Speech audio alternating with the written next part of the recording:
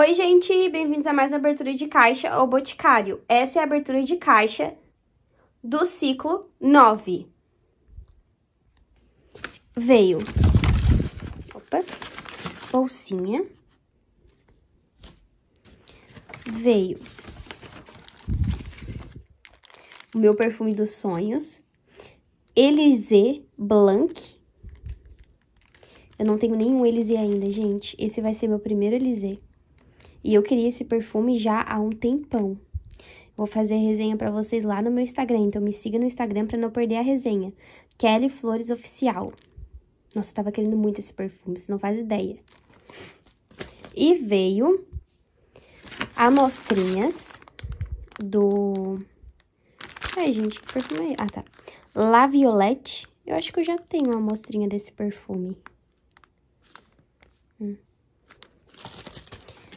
E veio o Mini Madeleine 862. Eu já fiz resenha desse perfume lá no meu Instagram pra vocês. Já tem resenha dele lá no meu, no meu Instagram. E o Max saindo ali. Esse aqui é o pequenininho. Esse aqui é o de 50? 30? 30 ml. E a notinha.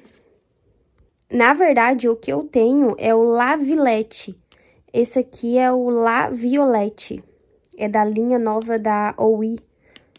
Não sei nem falar esse nome aqui. Flowers. Eu acho que é Flowers Eternals. Eu acho que é isso. Tô traduzindo aqui pro inglês. nem sei se é isso, mas tudo bem.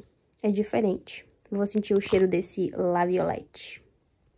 Esse é bom, gente. Esse La Violette. Ele é muito bom mesmo. Ele é bem floral, né? Essa linha da Aoi, ele é, é bem floral. O nome já diz. Ou se vocês quiserem me dar esse perfume aqui, eu aceito. é muito bom mesmo. Olá, Violette. Gostei. Nem sei se é assim que fala, mas é muito bom. E é isso, gente. Se inscreva no meu canal se você não é inscrito. Dê like, ativa o sininho. Me siga no Instagram que vai estar na descrição do vídeo. E até o próximo vídeo. Tchau, tchau.